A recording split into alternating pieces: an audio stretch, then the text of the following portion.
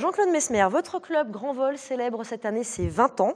L'occasion pour nous de découvrir bien sûr votre école, votre club école, mais aussi la discipline qui est le parapente. Et je vais tout de suite laisser la parole à Mathieu pour un petit point et quelques chiffres sur cette pratique en Alsace. Pour dégrossir un peu euh, l'histoire, en fait, tout est regroupé en fait au sein d'une fédération qu'on appelle de vol libre, qui regroupe justement tout ce qui vole, on peut dire ça euh, presque comme ça, le parapente essentiellement, mais aussi euh, le deltaplane, le kitesurf, c'est on va dire plus récent, et le cerf-volant, rattaché récemment, mais de pratiques ancestrales ou presque. Ces pratiques en Alsace, c'est quoi? C'est trois écoles, 17 clubs pour un petit millier de, licenciés? Avant de parler simplement euh, chiffres, je veux savoir un peu les, j'en ai jamais fait, les sensations qui font qu'on y vient et surtout qu'on y reste. Quelles sensations on éprouve quand on vole, tout simplement? Alors les sensations, c'est un peu, un peu, je dirais, comme, euh, comme, comme les oiseaux. C'est-à-dire, euh, ce qui est fabuleux dans le parapente, c'est que on peut voler, ça fait pas de bruit, et on bénéficie d'un spectacle permanent qui se déroule devant vos yeux. Alors, comment on y vient? Euh, On y vient le plus souvent parce qu'on les voit qui évoluent en l'air et que si on s'y intéresse un tout petit peu, on va aller se renseigner. Et là, vous l'avez souligné, nous avons 17 clubs qui tournent en Alsace et il y a trois écoles qui enseignent le vol libre et principalement le parapente. Alors nous avons dans le Haut-Rhin, il y a le centre école du Markstein, qui est une école professionnelle, et dans le Bas-Rhin, il y a deux clubs écoles qui font de l'enseignement avec des bénévoles. Donc nous, nous sommes installés à Breitenbach depuis les années 90 et nous avons fait un vrai projet de partenariat avec la commune. Et depuis, euh, ben, nous avons été complètement acceptés et par les villageois, et par la communauté de communes, et par la commune elle-même et par tous les habitants qui, au début, ne voyaient pas ça vraiment d'un bon oeil. Oui, mais c'est un peu bizarre. on, on, en reparlera un tout petit peu plus tard. Euh, moi, je il y a une question que je me suis posée en préparant cette émission. L'Alsace, euh, moyenne montagne, est-ce que c'est forcément la géographie la plus adaptée à cette pratique? On pourrait penser que, par exemple, dans les Alpes ou même les Préalpes, c'est déjà un peu plus indiqué, non? Alors, au risque de vous surprendre, les Alpes, les Alpes c'est bien, mais les Vosges ou l'Alsace, c'est tout à fait adapté à la pratique du parapente. Et cela depuis que les matériaux, les parapentes, ils ont évolué dans, les années 90. Parce qu'avant, au départ, les parapentistes faisaient ça avec des voiles de saut, donc des parachutes qui descendaient euh, rapidement. Et les industriels ont permis au fur et à mesure que ce matériel euh, devienne de plus en plus performant et ça a ouvert la possibilité de faire ça dans les Vosges et surtout dans le Bas-Rhin.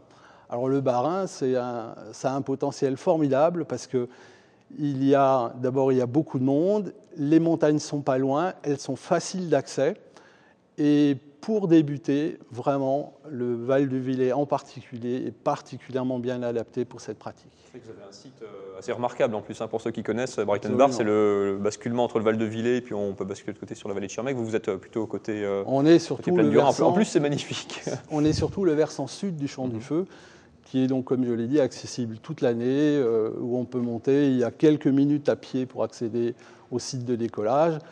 Et ce site de décollage, il est aussi accessible aux personnes qui se promènent sur le GR5, qui passent en dessous et qui peuvent euh, admirer les parapentes euh, au décollage.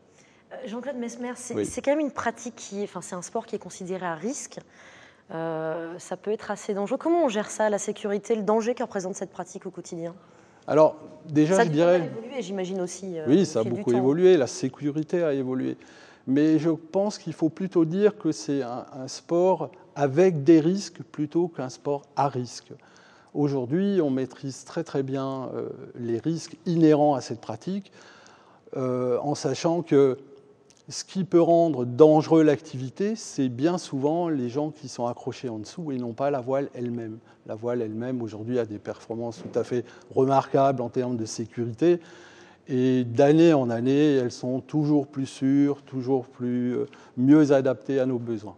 Alors, messieurs, on va continuer bien sûr cet entretien. On va juste marquer une petite pause, si vous le voulez bien. On se retrouve dans un peu plus d'une minute pour la suite. De retour pour la première partie de cette quotidienne avec notre invité sport de ce lundi, Jean-Claude Mesmer, président du club école de parapente Grand Vol, également vice-président de la Ligue de vol libre d'Alsace, pardon, et puis toujours Mathieu Chanvillard du service des sports d'Alsatique TV.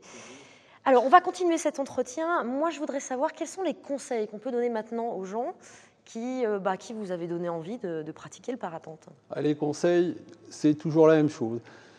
La première chose à faire, si on, si on a envie de faire du parapente, c'est d'aller se renseigner et d'aller s'inscrire dans une école. C'est absolument indispensable parce que c'est probablement le sport aérien le plus facile d'accès mais ça ne veut pas dire qu'il ne faut pas apprendre des règles de base, parce qu'on vit on vole dans un milieu qui est à partager avec d'autres aéronefs.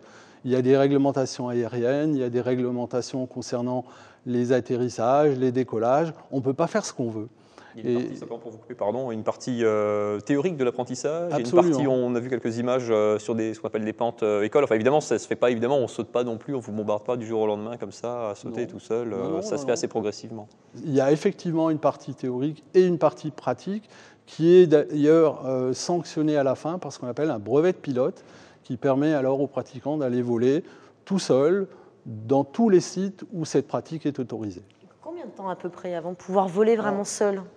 alors la durée est assez variable parce que ça dépend surtout de l'assiduité de l'élève. S'il est très assidu et qu'il vient régulièrement, on peut dire qu'il est possible sur une année, sur une saison, d'avoir son brevet de pilote. Évidemment, s'il vient que, que quand euh, c'est possible pour lui, c'est-à-dire euh, une fois par mois ou une fois tous les 15 jours, ça va, ça va être difficile. Ça prendra bien deux saisons à ce moment-là. Qu'est-ce qui a le, plus changé, euh, Jean-Claude Mesmer, en 20 ans Votre club a 20 ans d'existence? Mm. Le matériel, on en a parlé, a évolué. Le, je sais pas, le regard des gens a évolué. Le regard des agriculteurs qui vous voient vous poser dans leur champ a évolué. Qu'est-ce qui, qu'est-ce qui a changé dans cette discipline? Bah, Ce qui a beaucoup changé, finalement, c'est, malgré tout le matériel. Euh, le regard des gens, évidemment, puisque au début, il euh, faut replacer ça dans le contexte. Il y a une vingtaine d'années, un parapente dans un village comme Brighton Bar, dans le Val de Villers vous seriez venu avec une soucoupe volante, je le dis parfois avec humour, mais c'était un peu la même chose. Quoi. Il fallait vraiment euh, convaincre, c'était le premier travail, hein, convaincre euh, les élus locaux, convaincre les agriculteurs. Je profite aussi de l'occasion pour remercier Jean-Pierre Piela, le maire de Bar, grâce à qui le parapente existe, parce qu'autrement, ça n'aurait été pas possible. Il a, dès le début, été avec nous et a défendu notre cause avec beaucoup de, ferveur. Et je leur remercie beaucoup aujourd'hui. Jean-Claude Mesmer, en 20 ans, vous avez eu le temps de former combien d'élèves? Alors là, c'est assez facile. Nous avons fait les comptes. On a formé 1000 élèves au parapente, environ 50 par an, ce qui correspond à la limite haute qu'on s'est fixée dans le fonctionnement de notre structure. Et on a formé une cinquantaine de moniteurs fédéraux. Parce que là aussi, vous ne pouvez pas faire d'école si vous ne faites pas de la formation de moniteur. C'est des gens qui pratiquent encore dans la région aujourd'hui? C'est des gens qui pratiquent encore dans la région et ailleurs, euh, avec évidemment beaucoup de gens qui arrêtent parce que le parapente, comme beaucoup d'activités sportives, euh, on fait ça un peu en dents de scie, les gens font pendant 2-3 ans puis ils arrêtent. Mais malgré tout, il reste euh, les anciens qui permettent de relier un peu l'histoire et de, former les jeunes. Ça, c'est très important. Alors, merci beaucoup. Si vous voulez en savoir plus sur le parapente et l'association,